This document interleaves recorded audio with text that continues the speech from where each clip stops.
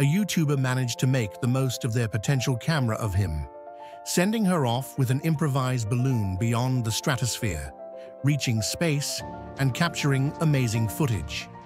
It's called BloonStu, and he started his adventure from his home in Texas to take some beautiful pictures, as reported by Indy100. However, the balloon began to rise higher and higher in the sky and eventually transcended the atmosphere, reaching the vastness of space.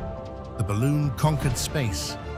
In the video, the camera appears to move away from the courtyard of his farmhouse, which gradually becomes one with the uniform green surface of the plain.